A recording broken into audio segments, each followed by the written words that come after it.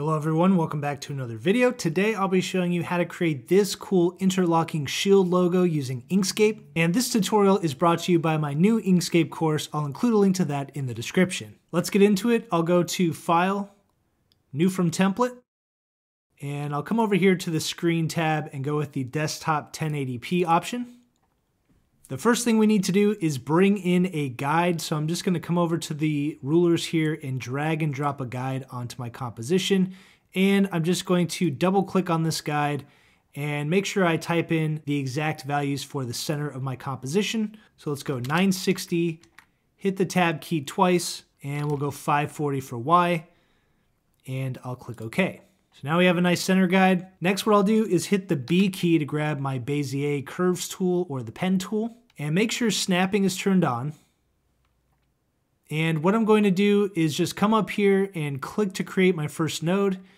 And I'm going to hold the control key and that's going to snap this to 15 degree increments.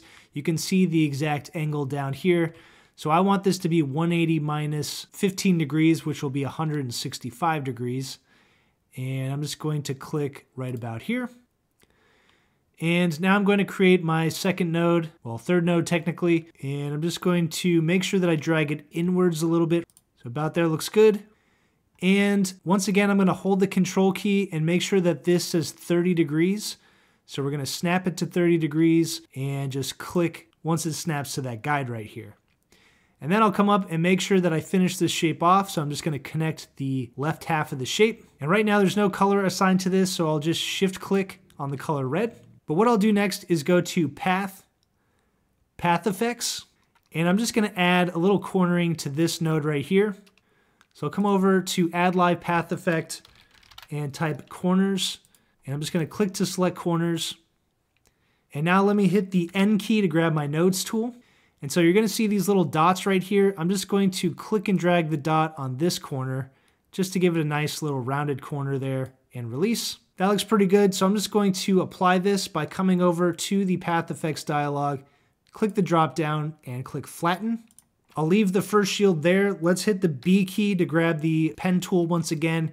And we're going to draw the second shield here. And this one's gonna be a little bit shorter, but wider.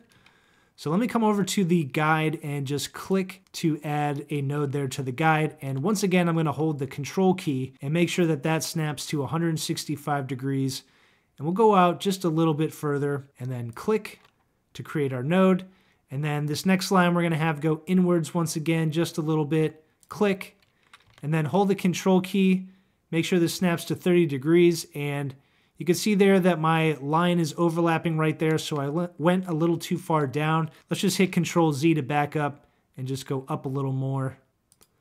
And then once again, draw this so that it is snapping to 30 degrees, and then click once it meets with the guide, and then we'll just click to finish that shape off. But now once again, I'll come over to Path Effects and we'll type corners. And we'll hit the N key to grab the nodes tool and just add a little bit of rounding here to this corner. And you can adjust this to your liking. Once you like where it is, just come over here to the arrow and click flatten. All right, so we have our shield shapes, but we only have half of them.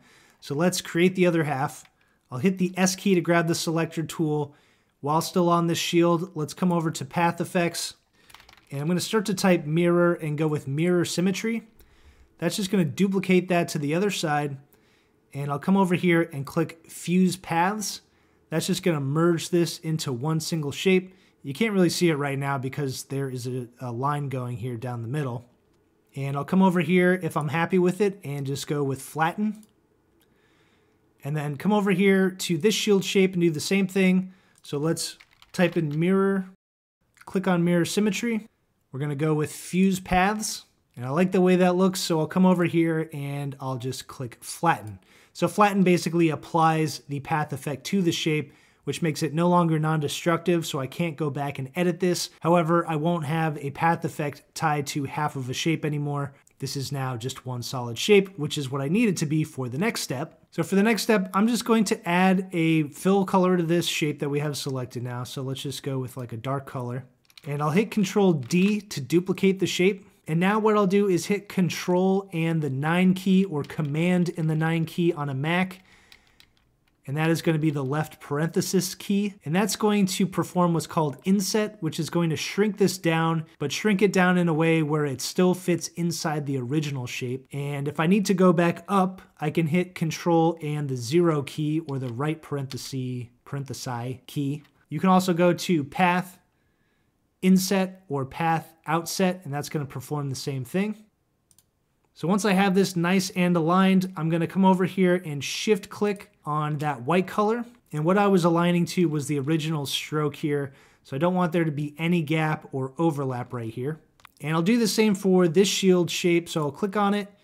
Let's just add a background so we can differentiate the white stroke from the white background here. Control D or Command D on a Mac, and then Control 9. And we're just gonna hit that until we see a little bit of daylight there between these strokes and then control zero to go back up. And then I'm going to shift click on the color white and we can just left click to get rid of that black fill. I don't know if we got rid of the black fill on this one. No, we did not.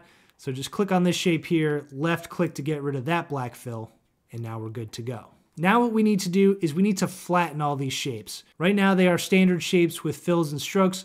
We want them each to be their own separate thing. So what I'll do is just click on each individual shape and hit Shift F. And what that's going to do is separate the stroke from the fill. So let's click on this stroke here, Shift F. We're going to click on this main shape here, Shift F. And click on this shape here, just the stroke, and Shift F. So Shift F is the Boolean operation if I go to Path, Flatten. So it's the flatten Boolean operation. All right, so now we've got all these shapes. They're all individual shapes. If I come over to the layers panel, you can see they are all paths. And we've got six paths because we've got four strokes and two fills. But what I'll do is I'll just click to select all of these shapes. And I'm going to hit the X key on the keyboard, which is going to enter the amazing shape builder tool. And what we need to do is create a nice little overlapping effect. And I want this to tuck under these strokes here come around, go over this, come around, tuck under this. And the outer stroke is the main color stroke. The inner stroke is the white stroke, so we're gonna keep that in mind. We're gonna perform the same thing on both strokes. So let's start right here. So I want this to overlap right here. And you're gonna see a little line here, and we're just going to double over that one more time. I'm just clicking and dragging my mouse with the shape builder tool to combine those shapes. And then once we reach this little part, we're gonna jump over it. And now we're going to click and drag and combine these shapes here. And now let's do the same thing for the white stroke. So click and drag to combine these shapes, release the mouse and just double back over that. We're gonna jump over this one here and then click and drag to combine these and release. And then we need the shield to look like it's overlapping right here. So we need to combine this area and release and combine this area and release. We're going to jump over this one and we're just going to combine this area here, release, combine this area here, release.